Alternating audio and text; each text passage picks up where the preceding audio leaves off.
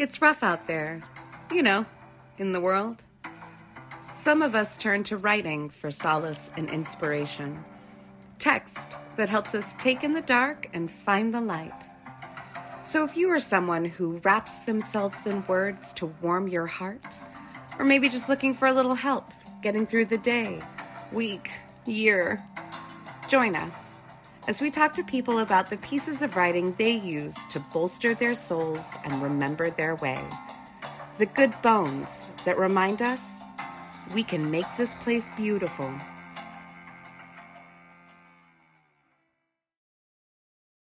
Hello, welcome to the Finding Good Bones podcast. I am Amy, one of your co hosts.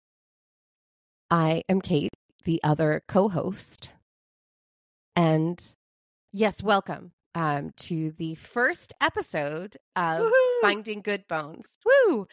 Um, if it wasn't clear in our little intro section that just happened, um, this is a podcast that is all about our favorite pieces of writing that both acknowledge the darkness and the pain in this world, but then also provide a shift in perspective to help us keep moving through it and want to move through it and want to stay.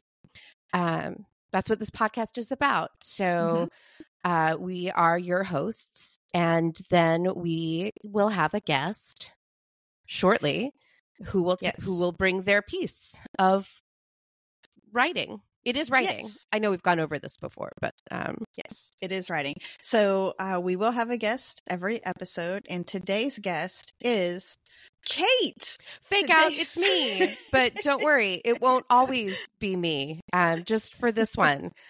But uh, yeah. So before before we kind of get into that interview bit, Amy, what are you reading right now, What am I reading right now? Well, right or now, what are I'm you reading excited about, uh, like on your on your short list? on my short list? Okay, I'm just going to be honest about darkness and light. Right now, what I'm doing is a huge reread of the Terry Pratchett books I love because Oh, inside my head is too much darkness right now and i just Mhm. like the comfort so i'm sinking into the comfort of the terry pratchett books with samuel vimes and granny weatherwax oh, I those love are my comforts that's where i'm going right now Susan, yeah susan the granddaughter Susan of death, death. Yeah. uh-huh Um, that's lovely. yeah that's where i am Yeah. and what have you brought us today kate Uh, um that you want to talk about Oh, well, were you going to ask me what I'm reading? oh no oh yeah kate what are you reading right now it's fine. Never mind. no Um, come no, on I'm. I yeah. Look, like I'm not going to talk about what I'm reading. Well, I have a couple of things going. I am reading a book by. uh Hold on, it's over in my room, um, which is uh, not far. I'm in my home, which is close. Uh, yeah, I'm reading a book by Sasha Sagan, who is Carl Sagan's daughter, called For Small Creatures Such as We Rituals for Finding Meaning in Our Unlikely, it's probably, yeah, Unlikely World. Um, and so Carl Sagan, notably a very secular person, um, as as is his daughter who is writing this book, but it's all about the importance of ritual in our life and um, different ways to do that, both spiritually and not spiritually. So that sounds It's good. beautiful it's very Yeah. beautiful. I cry.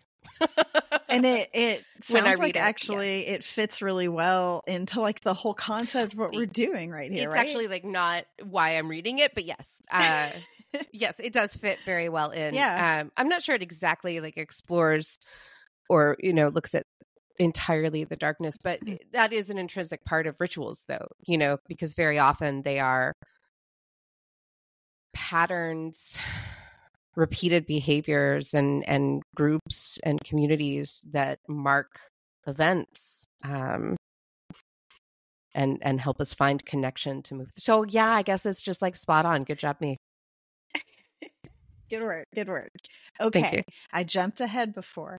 Now we Yeah. have heard what you're reading now. Now let's hear what you brought us to talk about oh amy today. would you like to introduce us to our guest?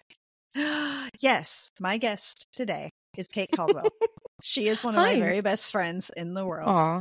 The Aw. first time I met her, she gave me angry face, and she assures me now that that wasn't because she was mad at me. So we are now we are now. No, that was just my face. it still is my face. no, It remain it remains my face. no, absolutely Um, not. The- yeah, look, look. If you were to see me at six forty-five in the morning, yeah, hundred percent. Which is when Yeah. we met. It was at Yeah. six forty five in the morning, um, years ago. Years ago.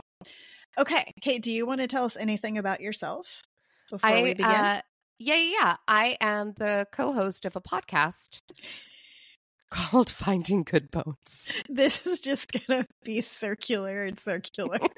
we can do this. All right. Nice work. The link to the Thank you. podcast will be in the show notes.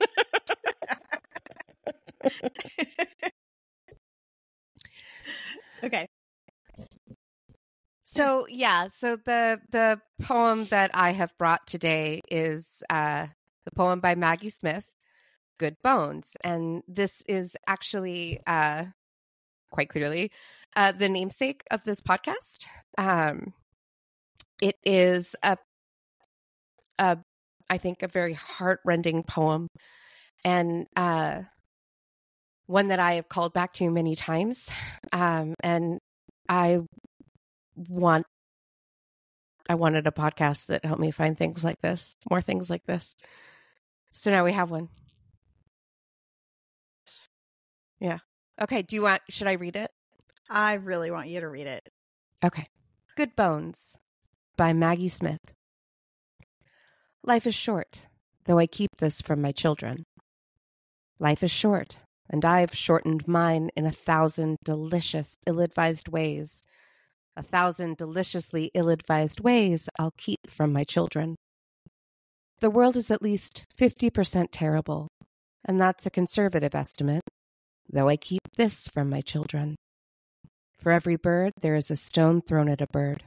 For every loved child, a child broken, bagged, sunk in a lake. Life is short, and the world is at least half terrible, and for every kind stranger, there is one who would break you, though I keep this from my children. I am trying to sell them the world. Any decent realtor, walking you through a real shithole, trips on about good bones. This place could be beautiful, right? You could make this place beautiful. Okay, Kate. Uh, Yeah. Every time, every time I see that poem, every time I read it, Yeah. it, as I told you before, sort of breaks me.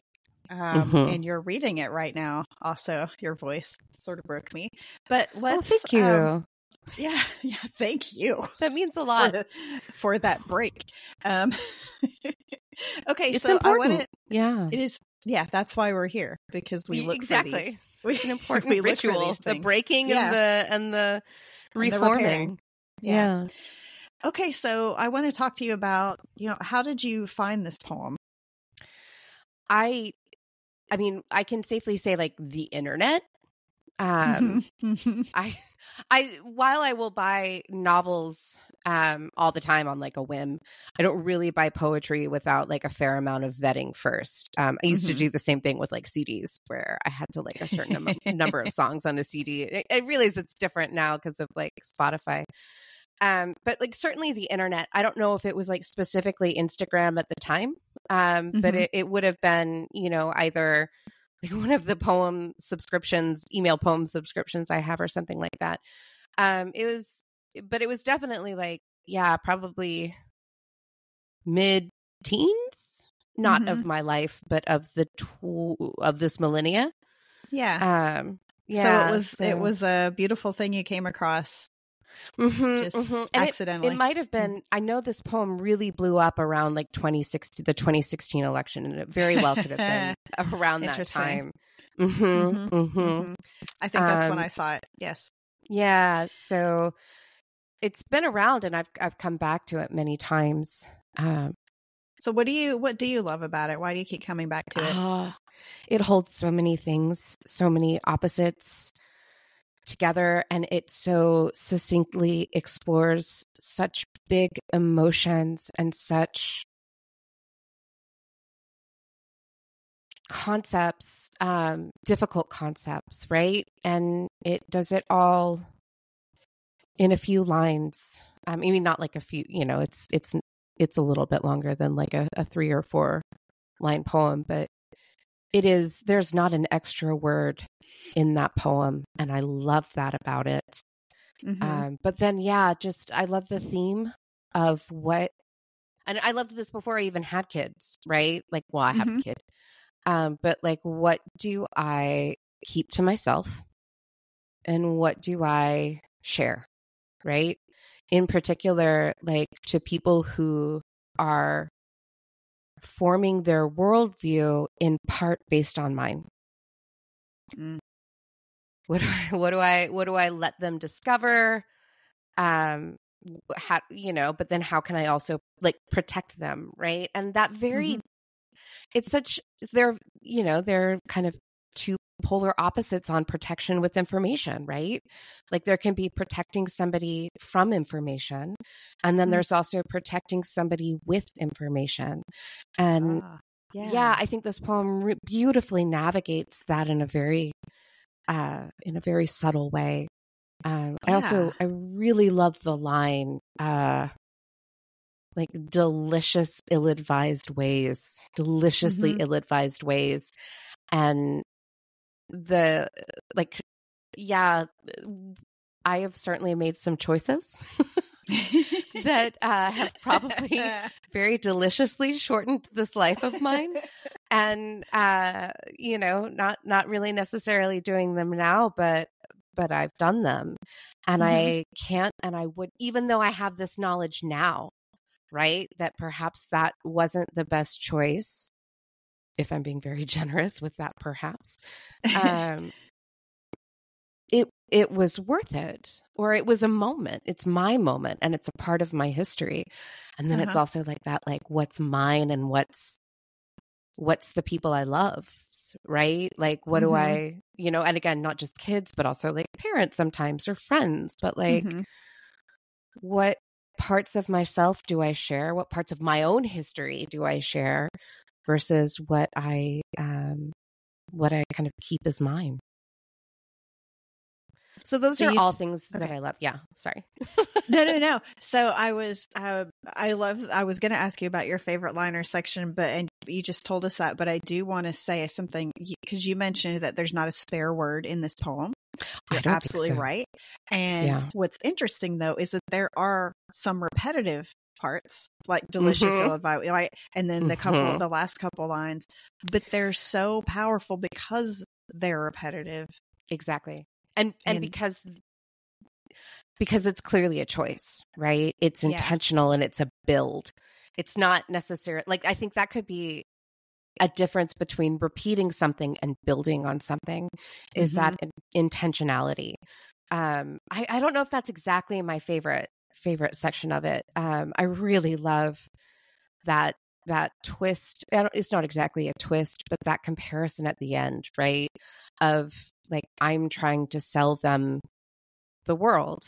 Yeah. And like, yeah, it's a shithole, but couldn't you make it better?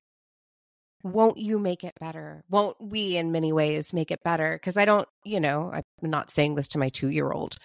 Um, I say it to myself, right? Yeah. And and so I am both the realtor and the um realty. Is that a Is that a professional term um? Absolutely. Yes. Yeah. Uh, I am both the realtor and the person walking through the shithole, right? Uh-huh.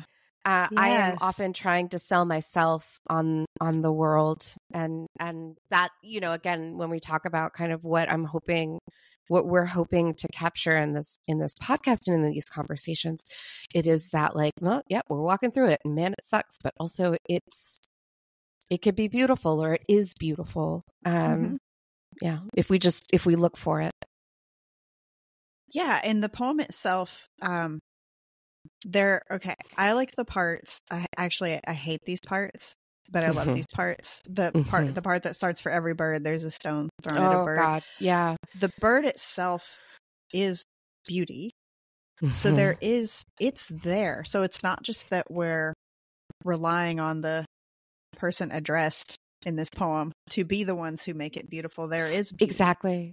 Exactly. Yeah. But we do need them to see it. We need us to see it. Mm-hmm. Right. Yeah. And yeah, this duality. Um, now look, I read this to my husband and he, t- I, and I, I'm so used to it. Mm-hmm. The harshness of that of that middle section, right? Mm. Where it is the comparisons and and particularly with um, you know, a child a loved mm-hmm. child and a child broken, bagged, sunk in a lake. Like I forget because I've gone over it so many times. Mm-hmm. Um, but I was mm-hmm. reading it to him and, and like there were tears that formed in his eyes. And then yeah. he was like, That's brutal. And I was like, Oh it yeah, is. it is. It but that I mean, you know it's but it's brutal, important. no matter how many times you read it. You oh, do oh, yeah, know yeah. it's there. Um yeah, that part every time I read it, I'm like, I know that part's coming. Here it comes. Oh, there it is. Ah. And then I'm past it and I'm thinking about the good bones. But yeah, that part, whoo, it gets me. Yeah. Um, what did you expect when you showed it to the father of your child? What did you expect? Did you? I mean, what what did you? I don't mean didn't you expect him to be sad? I meant like, why did you share yeah, that with him? Yeah. What what how um, what made well, you honestly? To? Honestly, Amy, I was trying to explain the name of this podcast. um but also i wanted him no i wanted him to to hear it you know he's he is a person that feels um mm-hmm. like every person every person feels it's just a matter of acknowledging it both to ourselves and others but whatever. Um but he is a person that um i i know that he struggles to see the light. And so i do think that that's why